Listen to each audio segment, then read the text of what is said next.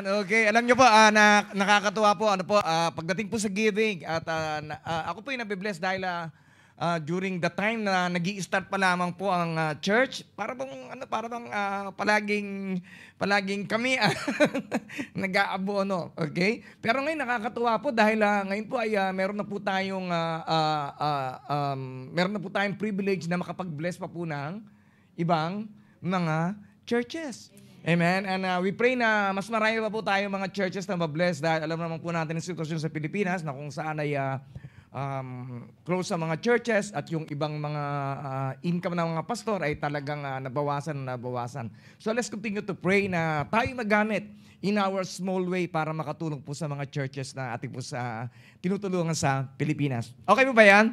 Okay, kasi po, pagka tayo po'y tumulong, siguradong sigurado ang tulong natin ay manggagaling sa ating pong Panginoon. Tayo po ay mas lalo po magiging daluyan ng kanya pong pagpapala. Okay? At uh, tayo po nagbibigay po ng ating pong uh, uh, tithes, di ba ba? Yung 10%, 100%, binawasan ng 10, naging 90 na lang. So sabihin ko po sa inyo, ano po, yung 90% na hawak ko mas blessed kaysa doon sa 100. Parang hindi ko maniwala. okay? Hallelujah. Kaya po, ito po yun, ano po, uh, uh, there's an uh, illustrations about that. Ano po, ang, uh, uh, isipin niyo parang cone, bundok. Okay? Pag pinapyas mo yung nasa dulo, okay, hallelujah, yun, yun ay mas magiging blessed. Okay? Dahil tinapyas mo yung, uh, para po siyang curse eh. Okay? Pag hindi mo binigay sa Panginoon, nadadamay yung ibang finances po natin. Kaya kung uh, kung paniniwalaan po natin sinasabi po ng Panginoon about finances, sigurado, sigurado, sigurado, sigurado, 100% naranasan na po namin yan. Pagpapalain din po kayo ng Panginoon. Amen? Hallelujah. Sige po, palakpakan ng Panginoon. At ano, bless ako dahil uh, kanina yung ating pong, uh, uh, uh, ito pong basket na to, talagang apaw na apaw na po siya. Ibig ko sabihin ay uh, talagang uh, ang uh, bawsa sa atin ay natututo na po ng uh, mga pinag-uutos ng Panginoon sa atin. Okay? Yun po yung sikreto po ng uh, uh, um, ng kingdom living, ang pamumuhay sa kaharian po ng Diyos, na siya yung ating po palaging unahin. Pagka inuna mo siya, sa finances mo, siguradong, yung the best din ang ibibigay niya sa iyo. Kung inuna mo siya, binigay mo ang time mo sa kanya, ay siguradong ibabalik niya rin yung time niya sa iyo. Kaya kita ninyo, di ba, ang lalakas ninyo, mukhang younger looking kayo. Di ba, hindi kayo tumatanda. okay, amen? Hallelujah, praise God. Gusto ko lang marinig na sabihin nyo rin sa akin yan. Okay? okay, so purihin po ang Diyos. Uh, we continue to on our series about the kingdom of God, ang paghahari po ng Diyos sa bawat sa po sa atin. And we know that uh, pagka ang Diyos ang inunda po natin, ay siguradong sigurado na lahat ng mga bagay na ating po ninanais ay idadagdag niya po sa ating pong buhay. Uh, Pagka, uh, when God is our priority, daan po natin, ano po, ang Diyos ang ating pong priority, hindi po siya option. Pag kami oras lang ako, pag kami panahon ko, pagka wala akong trabaho, tsaka ako, sasamba kay Lord. Pagka maganda ang buhay ko, pagka ako'y malusog, pagka okay ang finances ko, tsaka lamang ako sasamba sa Panginoon. Okay? Kahit na anong area ng buhay mo, kahit anong estado mo, ikaw ay uh, walang trabaho, may trabaho, ikaw ay malakas, may sakit, ikaw ay nanghihina, ikaw ay uh, uh, um, puno, um, may um, uh, malusog, ikaw ay uh, uh, ikaw may problema, ikaw ay wala. Hallelujah. Palaging priority natin ang ating pong Panginoon. Amen? Hallelujah. Sabi mo sa katay mo, ligligin mo yan, sabi mo, priority natin si Lord. Okay, praise God. Okay, hallelujah. Sige po, let's all stand na. Tayo pong minsan pa ay uh, magdeklara. Let's continue to declare our identity in Christ. Wag na wag po natin kalilimutan kung sino tayo sa uh, sa pamagitan ng ating Panginoong Heso Kristo. In Christ, I am alive, anointed, and gifted with supernatural ability to do the will of God. In Christ, I am a recipient of God's great and faithful promises. In Christ, I am blessed to be a blessing to my church, family, workplace, and community. Sabi mo sa mo, kaya, kaya ikaw blessing ka sa buhay ko eh. Okay, amen. Sige po, tuloy-tuloy po tayo. In Christ, I am confident that God will finish the good things that He has started in my life. Hintay-hintay lang, okay? Hallelujah. Darating din yan yung mga pinapanalangin ninyo. Okay, in Christ, I am devoted to pray, study, and meditate His Word every day to prosper and succeed in life. In Christ, I am empowered by the Holy Spirit, fulfill my God given dreams, and reach the fullness of my destiny. In Christ, I am protected, and no weapon of the enemy shall prosper against me, for Jesus' blood covers me. In Christ, I am forever grateful for His love, everlasting joy, divine peace, unlimited favor, and overflowing provision in my life and family. I believe and declare I am abundantly blessed in Christ forever, and no one can change it. Today, I'm going to receive the seed of the Word of God. My heart is prepared, my mind will be renewed, I will get stronger, wiser, and better to live a life of victory, success, and significance, all for God's glory. I declare that everything that you have confessed shall come to pass in your life sooner than you are expecting. Let us remain standing for the reading of God's word. Anyone who listens to my teaching and follows it is wise, like a person who builds a house on solid rock. Though the rain comes in torrents and the flood waters rise and the winds beat against that house, it won't collapse because it is built on bedrock. But anyone who hears my teaching and doesn't obey, it is foolish, like a person who builds a house on the sand. Father God, we come today to hear and obey your word. Hayaan mo, Panginoon, ang iyong salita ay mag-penetrate ng malalim sa aming pong puso at ito po ay aming pong ikapamuhay. At tulungan mo kami sa pamagitan ng iyong banal na santong Espiritu na maisagawa po namin ang lahat-lahat ng mga bagay na iyong pinag-uutos para sa iyong kalawalatian. Ito ang aming samang dalangin. Sa ngalan ni Jesus, ang lahat na nagmamahal sa Diyos, ang lahat ng ready, magsabi ng Amen. Hallelujah. Sige po, palakpakan sa Panginoon. We can be seated in the presence of God. Hallelujah. Sabihin mo sa kaliwat sa kaliwa, kanan mo, I'm ready to receive the word tonight. Hallelujah. Last uh, last uh, last sun, uh, last Wednesday po pinag-usapan po natin is about the lost coin and the uh, lost sheep. Okay? At ako pinaniniwala lahat ng mga bagay na nawala sa inyo ibabalik sa inyo ng Panginoon ng doble. Amen. Hallelujah. Let's continue to have faith in God dahil uh, uh, hindi po niya hayaan na may mangyari po sa atin na atin po ikapapahamak, na atin pong Hallelujah. Praise God. Nahiga siya. Ako'y napagod. okay. Praise God. So tonight po, pag-usapan po natin is the parable about the two builders, the wise and foolish. Okay? Uh, alam niyo po, lahat po tayo, we are all builders. Tayo po nagbibuild ng ating pong buhay. Hindi po yung katabi mo, hindi po si pastor. Okay? I, I'm only an instrument. Isa lamang ako kasangkapan ng Panginoon para kayo tulungan na uh, uh, um, na mai, mai na mai-build up ang inyo pong buhay. Okay, God is using me to build up your faith. God is using me to build up your hope. God is using me, hallelujah, para uh, matulungan kayo, uh, to encourage you, to inspire you, na to stir up your faith. Hallelujah. Pero ang ating pong master builder na nagtuturo po sa atin ay walang iba kundi ang ating pong Panginoong Yeso Kristo. Okay? Jesus is the carpenter and uh, by trade and profession. And he knew how to build houses. Siya po ay uh, magaling na karpintero at alam niya po kung uh, uh, kung paano po uh, gumawa po ng bahay na hindi kagad nasisira. Alam niya na gumawa ng uh, lamesa na hindi kagad uh, uh, uh, nahihiga, okay, nadadapa. Okay? Ibig sabihin, mga kapatid, isa po magaling na uh, na karpintero ang ating pong Panginoong Heso Kristo. Kaya po, inahilin tulad po niya ang pag, pagbibuild po ng ating pong uh, ng pagbibuild po ng bahay sa atin pong buhay. Sino po dito yung gusto ninyo na maging maayos ang inyo pong buhay? Okay, lahat po tayo. Amen? Hallelujah. Alam, alam po natin deep inside na meron dapat na ayusin sa ating pong pag-iisip. Deep inside, alam po natin na meron po dapat na ayusin sa ating pong paggasta. Deep inside, meron po dapat na ayusin sa ating pong oras. Deep inside, alam po natin na meron pang mga attitude na dapat po po, po nating uh, uh, uh, ipag-pray para uh, uh, maayos ang ating pong behavior, ang ating pong pag-uugali, ang ating pong mga habits. And God is the only one who can help us. Amen? So, marami pong, uh, there, are, uh, there are several important matters about building a house that we need to study. Okay? So, one thing I've learned, ano po, the more that we study Jesus' parable, the more wiser you could become. Okay? Sa patuloy po natin pag-aaral ng mga katuruan ng ating po Panginoong Isus, ay mas lalo po tayong nagiging matalino. Amen? Kaya tingnan sabihin sa katabi mo, kaya pala nagiging mukhang matalino ka na.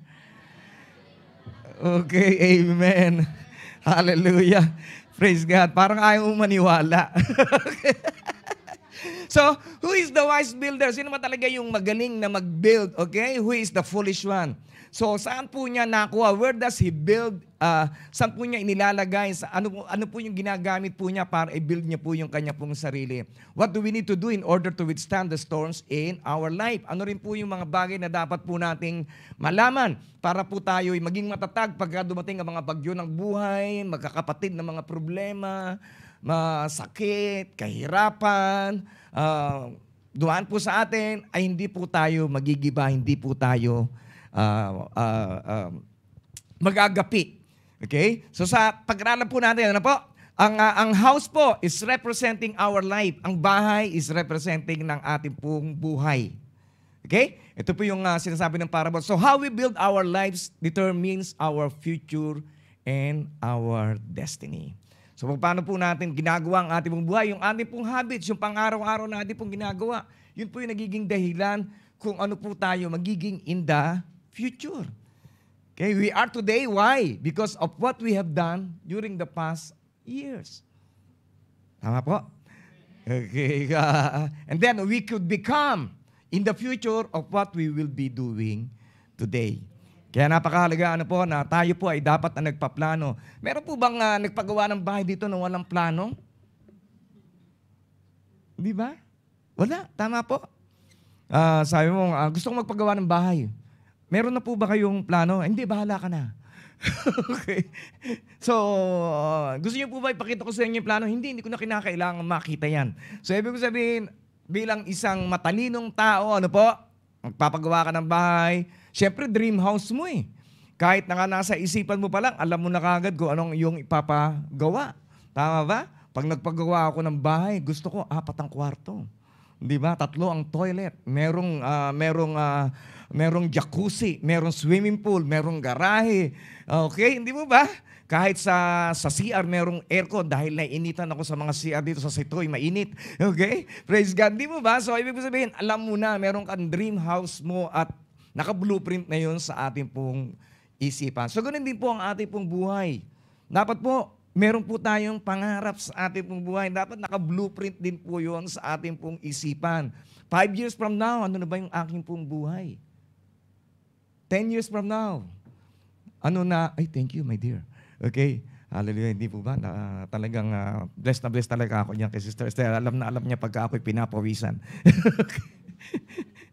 okay, praise the Lord. Oh, mainit nga. Praise God. So, how we build our lives determine our future and our destiny. Jesus gives us instruction how to build. Ang ating po Panginoon ay palagi po siya nagbibigay po ng katuruan paano po natin iaayos ang ating pong isipan, ang ating pong sinasabi, ang ating pong puso, ang ating pong buhay. The wise builder hears and obey. Ang isang matalino talaga na uh, gustong maging maayos ang kanyang buhay, nakikinig at sumusunod.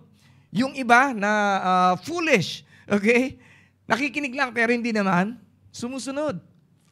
They hear but they never practice.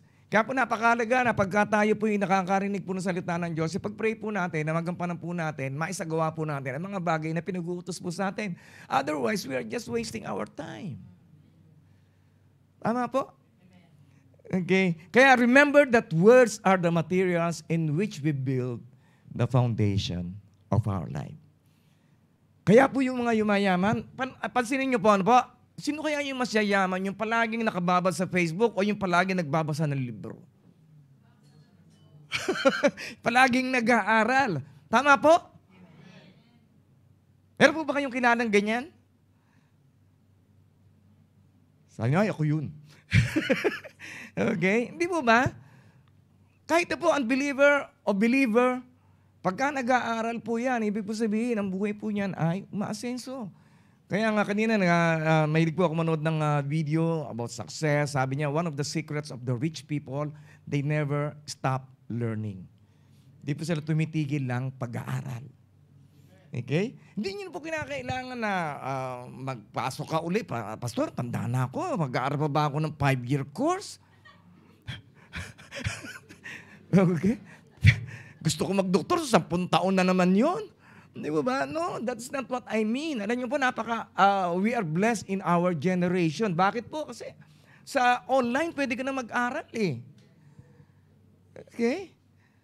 Kaya, kaya in this uh, in this pandemic, hindi po natin dapat sinasayang ating pong oras. Alam niyo, very, very blessed tayo dahil hindi po tayo nakaranas ng uh, kawalan ng pagkat... Uh, yung iba po sa atin, nakaranas po ng uh, pagkawalan ng trabaho, pero nagagamit pa rin po sila. Okay? Hallelujah. Panandalian lang. At nakaka-bless nga po, uh, si Angel ay nakapag-exit na kanina sa China. Si, uh, si, um, no isang araw. And then si, uh, si Jeric, bukas ay mag-exit na. Di ba? Mag-exit sa London. Hindi. so, okay, para pagbalik po niya ay meron na po siyang work. Okay? So our lives, our future, and our destinies depend, depend upon how we respond to the sayings of Christ. So sa Tagalog po, ano po, ang ating pong buhay, ang ating kinabukasan, at kahit na po yung ating pong destiny ay nakasalalay kung paano po tayo uh, uh, sumang-ayon, kung paano po natin tanggapin ang sinasabi ng ating pong Panginoong Heso Kristo. So, makita po natin dito, ano po, uh, pareho silang builder. Pero yung isa, ang ginawa po niya, uh, nagtayo siya ng kanyang bahay sa bato, yung isa naman nagtayo ng bahay sa buhangin. Nagtayo siya ng kastilyo sa buhangin pa. Di ba? Kastilyong buhangin. okay? So, anong nangyari po? Pagka nagkaroon ng alon, nagkaroon ng bagyo, ay siguradong siguradong yun po ay magigiba. Tama po? Kaya po napakahalaga na po. So Christ is talking about people who are in the church. Yung iba dyan ay, uh, ay uh, merong Christian parents. Yung iba naman ay meron naman mga Christian friends. Yung iba naman ay uh, uh, talagang uh, uh, palagi na lang nag-church. Okay? Pero ang, uh, ang nakakatuwa po, ang, uh, ang wise builder, ay uh, pinakikinggan po niya, pinapractice po niya ang mga bagay na kanya pong narinig. And a wise builder chooses to listen among, uh, uh, namimili po siya doon sa mga maraming mga tinig, sa maraming mga nababasa, pinipili niya po yung kanya pong mga ina-absorb sa kanya pong isipan. Okay? Alam niyo po, napakadali pong i-absorb ng chismis. Tama po? Pero pagka verses yan, di po ba napakahirap? Hindi po ba? Tama po, napansin ko po yan pag, uh, di po, minsan dadaan ka sa mga video, di ba, hanggang sa, na ano ka na, maadi ka na, lahat ng video pinanood mo, di ba, nasayang na yung tatlong oras, dalawang oras. Pero pag nagbasa ka ng Bible, di ba?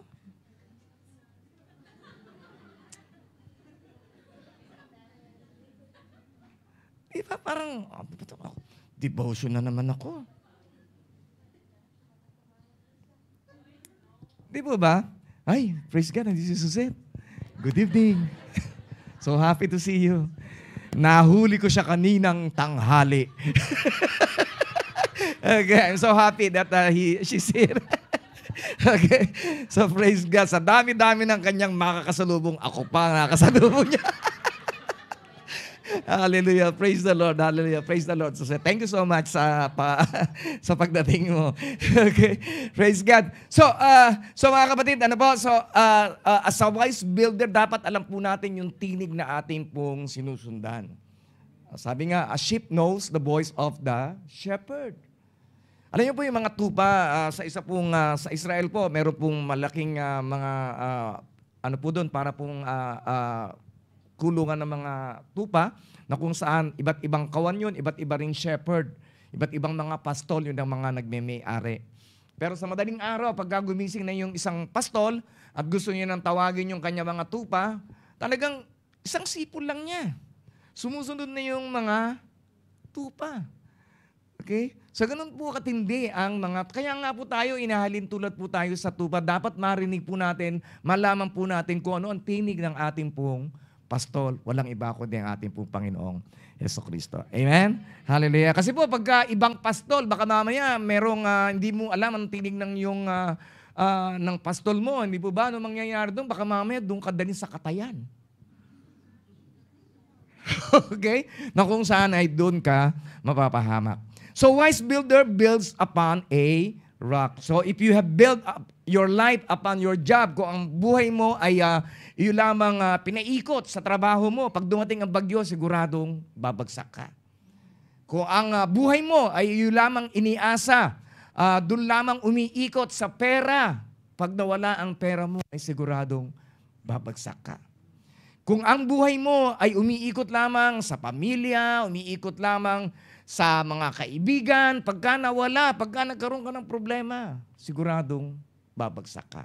Amen? Kaya po napakahalaga na, na atin pong ilagak ang ating pong buhay sa palibot po ng ating pong Panginoong Kristo dahil kahit na ano pong bagyo ang dumating sa buhay mo, signal number 8, signal number 9, signal number 10, may kasama pang lindol, ay hindi ka matitinang dahil ikaw ay na kay Kristo.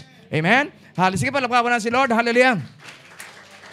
That's why Jesus is the only foundation upon which we can build and structure our lives. Kaya ang ating po Panginoong Sus lamang na kung saan ay doon po natin palaging ilalagak po sa Kanya ang ating pong buhay, ang ating pong pagtitiwala. For no one lay any foundation other than the one we already have.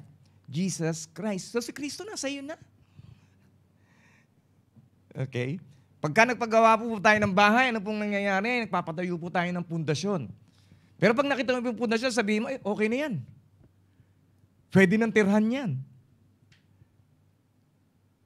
Pag sinabi mo yun, baka may dumating na nakawangwang at ikaw ay hulihin. okay? Dahil alam na ano nila na baka ikaw ay nabaliw na. Okay? So, ibig sabihin, hindi po tayo nananatili lamang sa pundasyon. Dapat po ay meron pa po tayong nilala, ginagawa. Meron po tayong gagawin. Pagkatapos ng pundasyon, ano pong gagawin po natin? Simulan na po natin ang mga haligi. Pagkatapos nun, simulan na po natin yung bubong. Pagkatapos nun, simulan na po natin yung mga sahig, yung mga kwarto, yung mga dibisyon. Ganun din po sa atin pong buhay. Ang tanging pundasyon po natin ay si Kristo Jesus. Pero magpapatuloy pa po tayo ng pundasyon ng kanya pong salita, ng kanya pong katuruan. Patuloy po natin patatatagin ang ating pong pananampalataya para kahit na mayroon pong bagyo na dumating ay hindi ka magagalaw, hindi ka matitinag. Amen? Hallelujah. Sabi mo sa katabi mo, hindi na ako matitinag. Okay, praise God. Okay. Amen. Hallelujah. Napaka napakahalaga napakahalaga po ano po na dapat po inaalam po natin kung saan po tayo patungo. Kung kinakailangan meron po tayong baguhin sa ating po mga habits, baguhin na po natin. Kung meron pa po tayong mga hindi napapatawad, patawarin mo na. Di ba? Ang, ang, ang hindi pagpapatawad, para po yung para kang uminom ng laso na ang sinasabi mo ay mamatay ka na sana. Ikaw yung uminom ng lason, pero sinasabi mo, mamatay ka na sana. Hindi mangyayari yun. Ikaw yung mamamatay dahil ang hindi pagpapatawad ay isang lason. Okay? Sabi sa katabi mo, pinatawad na kita. okay. Okay. Hindi po ba? Hindi ba nakaka, nakakalungkot, di ba? Nasa church ka, and then you keep on saying, I love the Father, I love Jesus, I love the Holy Spirit, I am loving, I am kind, I am patient. I am not jealous, I'm not envious, I don't keep records of wrong, pero pero ka pa palang kinaiinisan at hindi pinapatawad? Hindi po ba? So, it's a form of hypocrisy. Ama po?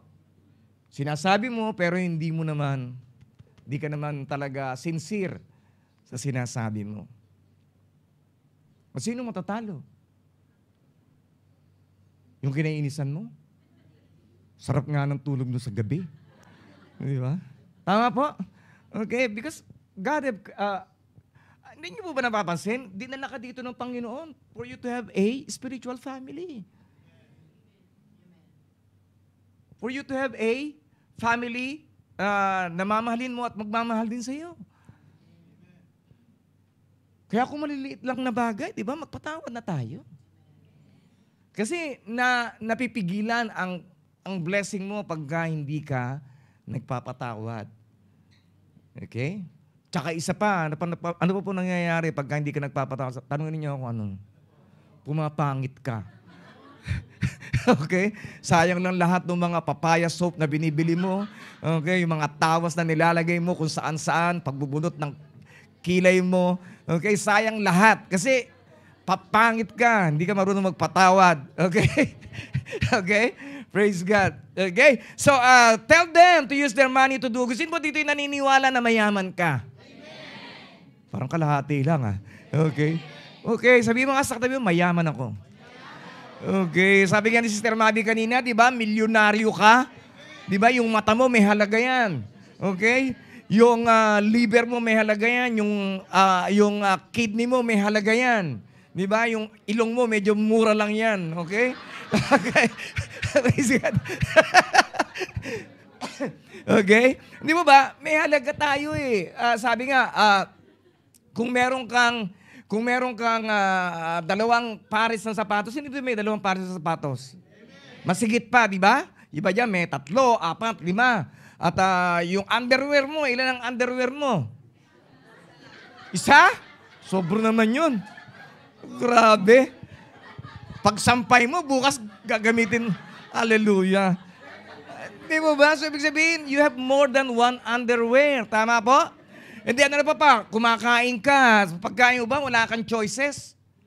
Pagkain mo ba dito ay ah, kanin, tas asin lang ang ulam mo? Hindi, may choice ka. Di ba?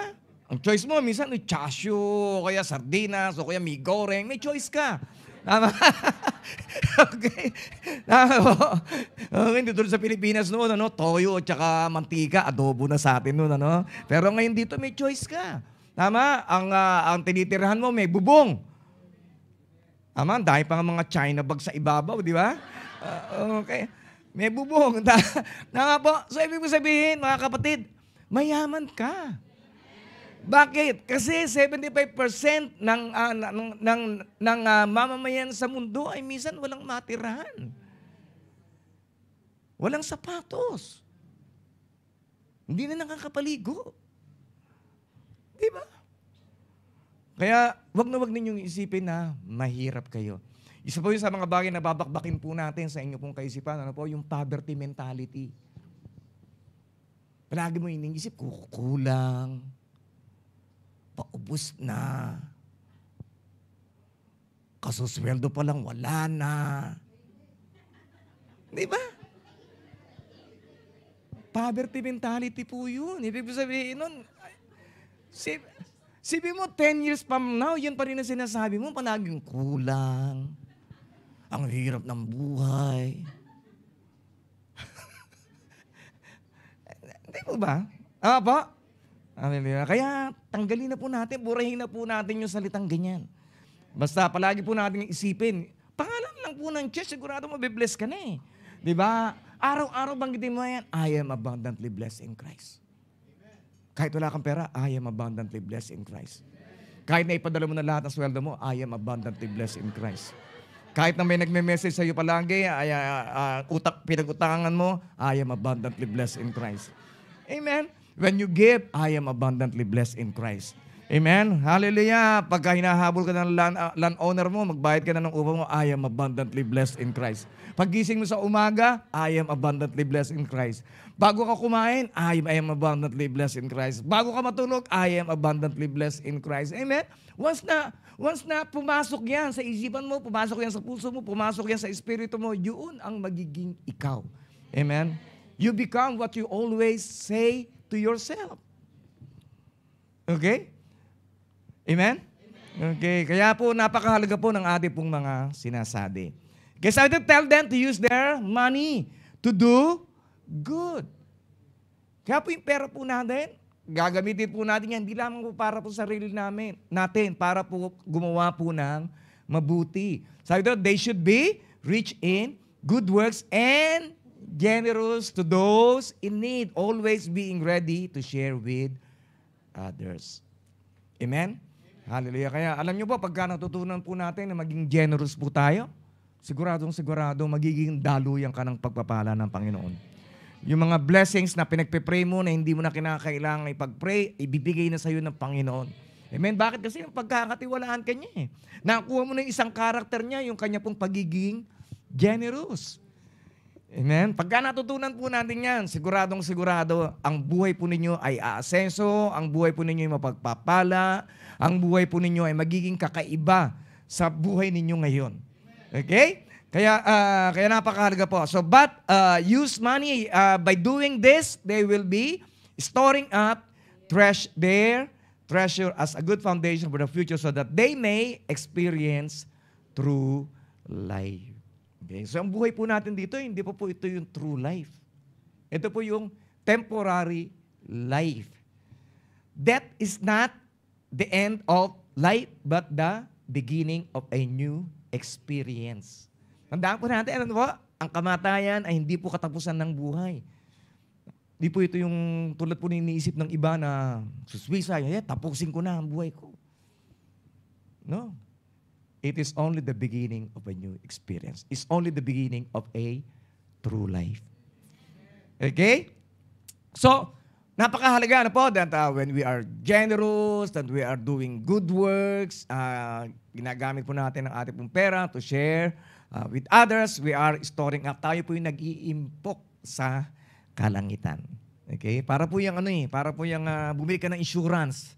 Okay? Uh, isa po yan sa sinabi ko kaya ano, sa mga nagtatanong kung, Pastor, nag-uwi man ng investment, bumili ka muna ng insurance.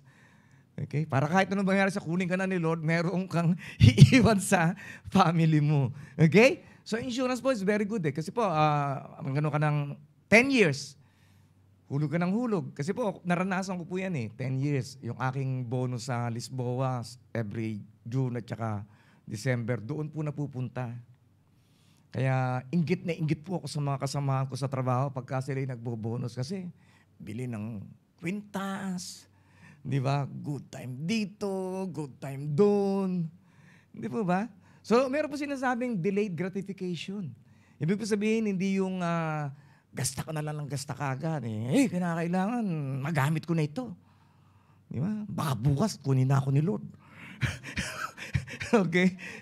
So meron pong delayed gratification. Yun po yung isa po sa sekreto ng mga gustong umasenso sa buhay. Okay? So, ibig sabihin, magtipid. And then, pagkatapos doon, uh, bili ka ng insurance, pagkatapos bayaran mo ng 10 years, and then after 5 uh, years mo pa makukuha, sa 15 years mo pa makukuha lahat eh. Pero ang laki po ng tubo. Uh, ano yung tubo? Uh, uh, bali, 50% po ng inihulog ninyo. At ang kagandahan naman po nun, you are insured. Nakuha niyo po ibig sabihin? Okay. Hallelujah. Sabi mo, sabi mo, tumatalino ka na. okay? Hallelujah. So, ibig sabihin mga kapatid, we are storing up treasure in heaven. Okay? Kahit na ano po mangyari po sa atin, our life is already insured at meron ka pang reward sa kalangitan. Okay? Uh, and then good foundation for the future. Hindi lamang po sagot ng Panginoon ang atin pong eternity.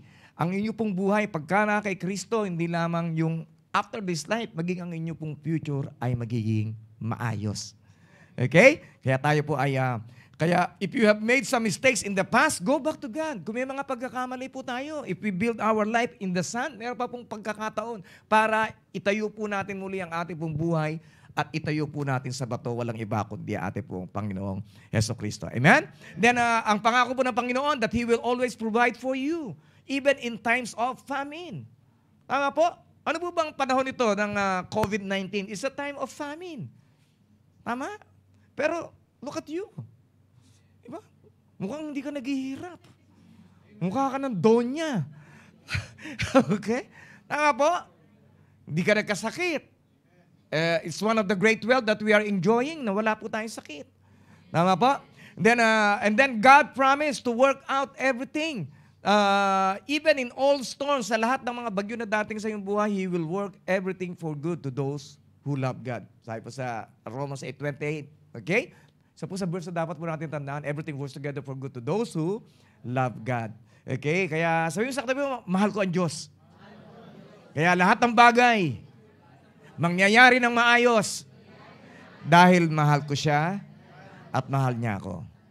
And then uh, Jesus said, if you abide in me and my words abide in you, ask whatever you uh, ask whatever you wish and it will be done for you. Kaya kung gusto po natin ng answer prayer, sino po dito yung nananalangin ng promotion? Sino po dito yung nananalangin ng business one day? Sino po dito yung nananalangin ng lifetime partner? Wow, madami. Si Tito yung nananalangin ng ah, ah, ah, that one day makapag-travel ka pa sa ibang lugar. Amen. Tama po. Hallelujah. So, ano, ano po sikreto sabi ng Panginoon? If you will abide in me, conditional promise po yan eh. If you will abide in me and my words abide in you, ask whatever you wish, it will be done for you. Okay? And then uh, Jesus replied, but even more blessed, okay, are all who hear the word of God and put it into practice. Dito po mababasa po natin na sinasabi na ikaw ay blessed na talaga. Okay? Kaya lang, meron pang mas higit po pa sa blessed lang. Ibig sabihin, but even more blessed all who hear. Mas blessed yung mga nakakarinig ng salita ng Diyos at ito ay isinasagawa sa kanila pong buhay. So, so if you will put into practice everything that you are hearing, you will even be more blessed. Okay? Mas mapagpapala ka saan? Sa trabaho mo, mas mapagpapala pati ang pamilya mo, mas mapagpapala ang finances mo, mas mapagpapala ang kalusugan mo, mas mapagpapala ang mga relationship mo. Amen?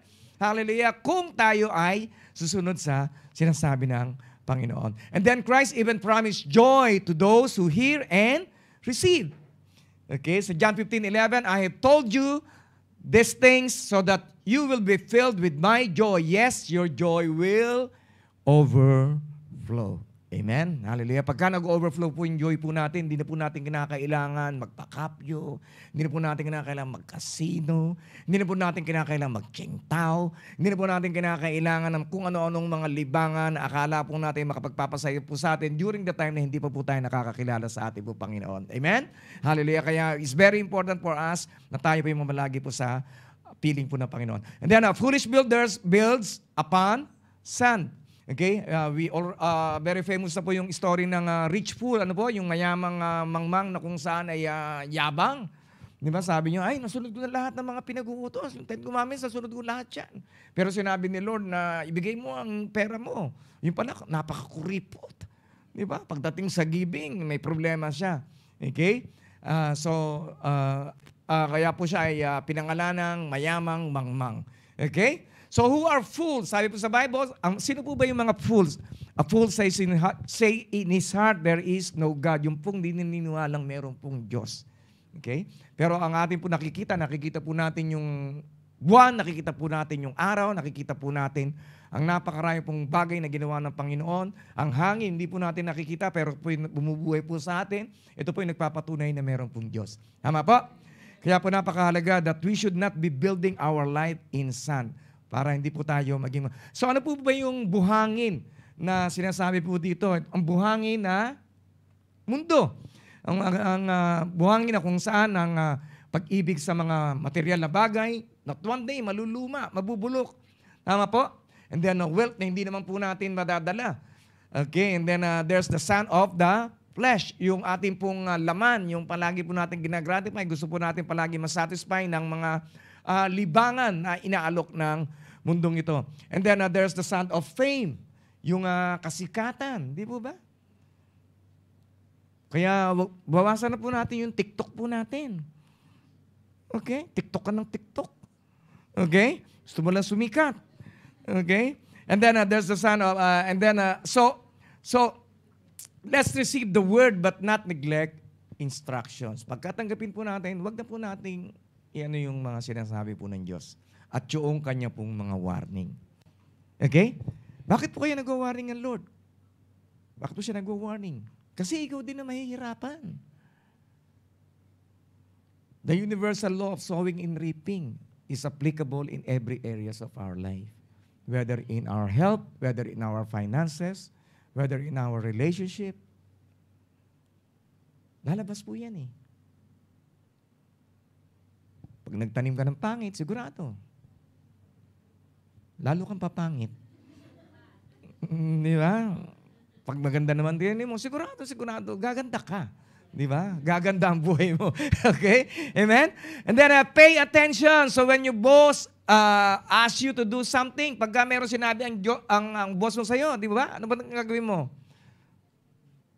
Halika dito. May sasabihin ko sa'yo. You have to pay attention. Tama po? Pagka ikaw ay may sakit at may sinabi ang doktor sa'yo, ito tatlong beses mong inumin sa umaga, ito sa gabi, hindi, hindi ka nag-pay attention. Di ba? So may sakit ka na naman. So you have to pay attention. Tama po? Pagka tagal mo na nag-work, ang ATM mo palaging zero. Bankbook mo, walang laman. Di ba? You have to pay. Sabi mo sa katabi mo, pay attention. Tama po? And then, uh, uh, uh, when you hear the instruction from Jesus, pagka nakarinig po tayo na sinasabi po ng Panginoon sa ating pong buhay, we have to pay attention. Okay? So don't be a foolish builder. Huwag po tayong maging mangmang na manggagawa na builder na kung saan ay nakarinig na instructions, pero hindi naman sinunod. Okay? Okay, so praise God. Sabi mo sa akin, may natututunan ako ngayon. Okay, so this is what the Lord says, Curse are those who put their trust in mere humans. Ayaw po natin ng curse. Ayaw po natin ng sumpa. Gusto po natin blessing. So, para po tayo hindi po maging uh, kasumpa-sumpa ang ating pong buhay, wag po nating ilagak ng todo-todo ang ating pong tiwala sa tao. Ang ating pong tiwala, ilagak po natin sa Diyos. Okay? Uh, who rely on human strength and turn their hearts away from the Lord. Naniniwala lamang sa karunungan, kalakasan ng ibang tao, pero hindi po sa Panginoon. So trust is the attitude of the heart. Ang pagtitiwala ay attitude po ito ng ating po puso. Okay? Kayo lamang ang po pwede po makagamot nito. Kaya uh, declare nga po natin, I will trust in the Lord with all my heart and will not depend on my own understanding. Amen. Ibig sabihin, tayo, ako'y magtitiwala sa Diyos at hindi ako mananangan sa sarili ko lamang karunungan at kaalaman. And then select the foundation. The foundation this parable is obedience to God's Word. Ang foundation po ay ang pagsunod po sa sinasabi po ng Diyos. The evidence of true faith, mga kapatid, is a person must build upon a solid foundation. Kung tayo po'y meron pong pananampalataya, tunay ang pananampalataya mo, siguradong siguradong ilalagak mo ito doon sa talagang matinding pundasyon, yung matatag na pundasyon, walang iba kundi ating pong Panginoong Heso Kristo. So there's only one foundation upon which to build. Isa lamang pong pundasyon. Dapat po, tandaan po natin, ano po, He is the cornerstone. Jesus is the cornerstone. Jesus is the seed of the woman. Jesus is the Prince of Peace. Jesus is the uh, is our uh, Lord. Siya po yung living word. He is the living word. And then be decisive. Choose to build your life upon Christ and His Word. Dapat pong magdesisyon na po tayo. Di ba? Napapawasan ko na yung mga intake ko ng mga kung ano-anong mga salita na nababasa ko sa Facebook. At dadagdagan ko yung aking intake ng sinasabi ng Diyos para mapaayos ang ating pong buhay. Amen? Amen? Sabi mo, tanongin mo yung katabi, gusto mo talagang mapaayos buhay mo? Amen. Hallelujah. Lahat po tayo gusto. Whether sumagot ka o hindi, nagsalita ka o hindi. Deep in your heart, gusto mo maging maayos ang buhay mo. Amen? Hallelujah. And then uh, be patient. Uh, know that it takes time and commitment to build. So, ano lang? Patience lang. Patience. Okay? So, counting the cost. Alam niyo po, katawa-tawa. Alam mo, kanina po, in-illustrate ko po ito. Eh. Katawa-tawa. Kung limbawa, nakatira ka sa fifth floor. Di ba? Mag-grocery ka, punta ka ng San Mio. Okay, bili ka ng bigas, bili ka ng uh, mga gamit sa bahay, bili ka ng uh, panlaba, bili ka ng shampoo, bili ka ng uh, ulam, okay? Bili ka ng napakaraming mga bagay, nasa grocery ka na. Naka, naka-cart ka na. Pagdating mo sa kahera, hindi mo pala nadala yung wallet mo, sapman lang pala yung pera mo. Okay? Hindi mo ba? So count the cost. Nagkwenta ka muna. Mamimili ako, so dapat alam ko kung magkano yung pera ko. So, ganun din po yung ating pong commitment sa ating Panginoon. Alam po natin yung cost. Okay? Jesus gave His life for us. So, it's the same thing that we should give our life to Jesus. Okay? But don't begin until you count the cost for who would begin construction of a building without first calculating the cost to see if there is enough money to finish it. Okay? Uh, mga kapatid, ano po? Uh, So ilan po sa atin dito yung gusto niyo talaga na maging, ma, maging maganda, maging maayos ang inyo pong buhay. Maging maganda ang inyo pong kinabukasan. Hallelujah. Sige po, uh, if that's you, tayo po natin tumayo. Let's all lift up our hands. Tayo pong lahat Hallelujah. Ay magpuri po sa Panginoon. Hallelujah. Let's give Him thanks sa mensahe na ating po narinig. Panginoon, maraming maraming salamat. O Lord, dahil ah, Ikaw ang aming pong pundasyon, at patuloy kami, Panginoon, na mag maglalagay, Panginoon, sa pundasyon na sinimula mo sa aming pong mga buhay. Patuloy mo kaming uhawin, gutumin sa iyong presensya, sa iyong salita. Tulungan mo kami, Panginoon, na may iwaksi ang aming pong mga gawi, ang aming pong mga habits, mga bagay na aming pong binabasa, mga bagay na aming pinakikinggan na hindi po nakapagbibigay ng kaluguran sa iyo at hindi po nakakadagdag ng aming pong pananampalataya. Kami ay turuan mo, Panginoon. Iwaksi mo, Panginoon, ang aming pong mga gawi. Lord, we just want to thank you, Lord. Because you are expecting each and every one of us, Lord God, to be a wise builder. Na kung saan kami ay magtitiwala, magdidepende sa iyo, who is our master builder. Hallelujah. Panginoon, I pray, Lord God, for everyone na narito, maaring ang kanila pong buhay one time ay kanila pong inilagak sa buhangin. At kapatid, it's never too late. Hindi pa huli ang lahat. You are here. Today, dahil lang nais mo, ay mapaayos ang buhay mo. This is the best time na kung saan ilagak natin muli ang ating pong buhay na nawasak sa batong sandigan na walang iba kundi si Kristo Jesus. Come back to God. Come back to God.